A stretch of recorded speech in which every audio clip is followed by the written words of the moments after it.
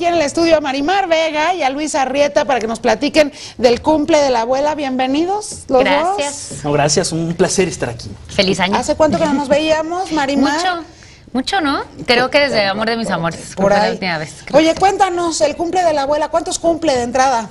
Eh, pues siempre cumple los mismos. Lleva como seis años diciendo que cumple los mismos. Ah, como muchas de sus abuelas que seguramente dicen lo mismo. Vanidosa que se quita los años. Sí, la repite y repite y cree que no nos acordamos. Oye, una película que, este, que se estrenó con el año, ¿no? Sí, primero de enero es, es una fecha, la verdad, muy buena porque es una película pensada para toda la familia, es, es ligera, es divertida, es, te vas a conmover también. Entonces, la gente que está de vacaciones y empieza el año, creo que, creo que es buena la, la opción. No, y aunque no estén de vacaciones y aunque ya regresen a sus actividades y a, su, Bueno, eh, a sí, sus también. labores cotidianas, nada mejor que ir a ver una buena, una buena comedia, Sí. eh, que se está haciendo tan buena comedia mexicana en el cine desde hace varios años y el cumple de la abuela, por supuesto, no es la excepción, ¿no? Sí, de verdad, es bien difícil luego promocionar uno sus cosas porque la gente cree que, pues a fuerza tendríamos que hablar bien, ¿no? Eh, pero de verdad, eh, cuando te gusta, o sea, cuando tú ves el resultado y eres objetivo, intentando ser como público, yo, yo la fui a ver ahora con toda mi familia, el primero, abuelas, sobrinos, papá, o sea, mucho tipo de público O de sea, todas te las llevaste a edades. las abuelas de de veras. Fuimos todos, de verdad. Ajá. Fuimos 19 a ver el cine, de toda la familia. Y, y se la pasan muy bien, porque creo que el acierto de la película es que todos tenemos familia, aunque sea chiquita o grande. Entonces te vas a poder identificar con alguno de los personajes en algún momento de tu vida. Este, has, has tenido alguno de esos por- alguna de esas cosas o también has sido a otra familia, has sido un integrante nuevo de otra familia como pareja de alguien. Claro. Entonces tiene como muchas opciones de edades y de situaciones en las que la gente se va a identificar y se va a reír, por supuesto, y se la va a pasar muy bien. Oye, además las abuelitas, eh, y particularmente las mexicanas, ¿no? Que a veces la hacen de abuelita mamá porque están cuidando eh, Sí. a tantos nietos mientras las mamás, las mamás eh, o los hijos andan chambeando, en fin, son, son abuelas mamás en, en este país. Sí. Son entrañables. Son entrañables siempre, y son, ¿no? son, o sea, es- en este caso es la matriarca, ¿no? Es la que realmente claro.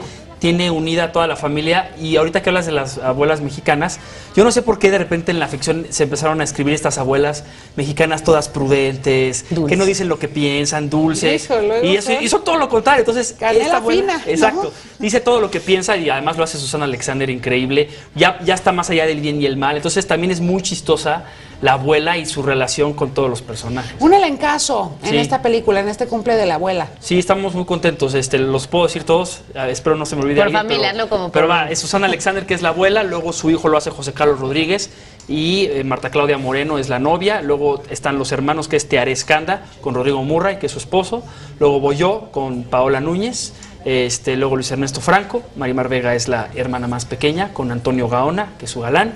Y tenemos actuaciones especiales de Elba Jiménez, César Giraldo y Paulette Hernández. Oye, el encaso, el encaso, ¿no?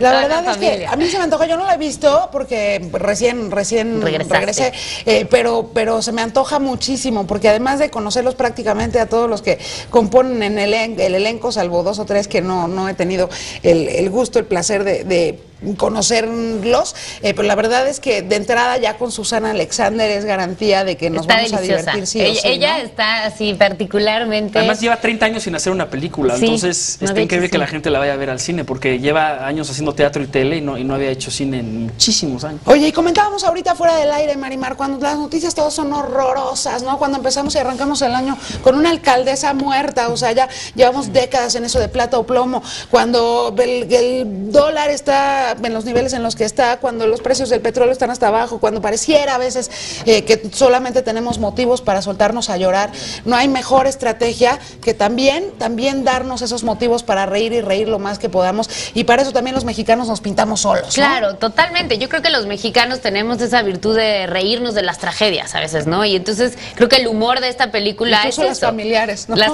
todos, Ajá. eso también te va a pasar. Vas a ver la película y decir, mi familia no está tan mal. Porque creo que todos somos una familia disfuncional. La verdad es que todos, o sea, somos como una presuma lo contrario. Modern o family. sea, sí, no, totalmente. Mintiendo, por supuesto. Y, y creo que esta película es un reflejo totalmente de eso y sí de la familia mexicana y de nuestro humor y nuestras tradiciones, por supuesto que sí. Oye, ¿de quién es el guion? El guion lo escribieron tres chavos, es Adriana Pelusi, eh, Renos Robledo y Tobias Camba. ¿Tuviste una obra de teatro que se llamaba Vacas? Que yo- No. ah, Pensé que la O Chico conoce a Chica, porque también lo escribe. Es que lo escribió ella, Adriana pero Adriana es muy Pelusi, buena. que es increíble. A mí me encanta ella. También es de las, ella escribió, por ejemplo, muchas cosas de paramédicos, de las del Ah, del- qué padre, qué Ella padre. es muy buena escritora, sí. Eh, me imagino que me imagino que ustedes habrán gozado eh, la hechura de esta película tanto como nosotros gozaremos verla, ¿no? Sí, porque además nos fuimos todos a vivir a esta casa donde se desarrolla la película. Estuvimos ahí cinco semanas. Entonces sí convivimos como familia todos. Ay, ¿en Desayunamos, serio? comíamos, Sí. cenábamos. O sea, es en esa experimental que hasta salen- en ese Sí. sentido la película. Fue como Ajá. un retiro. Es que es muy chistoso porque eh, nosotros teníamos acceso a esa casa, entonces llevamos a los escritores a esa casa, vieron el lugar y ya, digo, ya teníamos una idea de qué queríamos contar y entonces escriben el guion ya inspirados en el espacio. O Está, sea, está increíble. sí, ¿Eres un buen nieto o un mal nieto? Yo soy un bueno, yo Tú eres soy, bueno. buen- soy bueno. Él es bueno, un aficionado, Aficionado al Cruz fútbol. Azul, enfermo. Eso sí, a, a los que le vayan a algún equipo, igual y van a estar un poco tristes cuando ver la película, porque está la liguilla y pues va a haber equipos que van a ganar y otros que van a perder. Entonces, este, pues espero no romper muchos corazones. Le tiras un poco fútbol. a los ¿Tú americanistas. eres una buena nieta o una mala nieta? Yo soy, mm, yo soy, estoy un poco perdida en la vida en este momento. Es que Pero la bueno, más chiquita. Soy más chiquita y tengo un papá un poco desastroso. Vayamos a festejar a la abuela. El cumple de la abuela ya está prácticamente en todas las salas de cine en nuestro país. Todos podemos ir a gozar de este elencazo encabezado por Susana Alexander y por supuesto Luis Arrieta, Marimar Vega Sí. eh, y, y este de verdad elenco delicioso. Yo insisto, yo creo que los, los abuelos en general y las abuelas en lo particular entrañables son siempre. Sí. Sí. Muchas gracias. Gracias. Irene. Te invitamos a seguir cuestionando la información con los siguientes videos.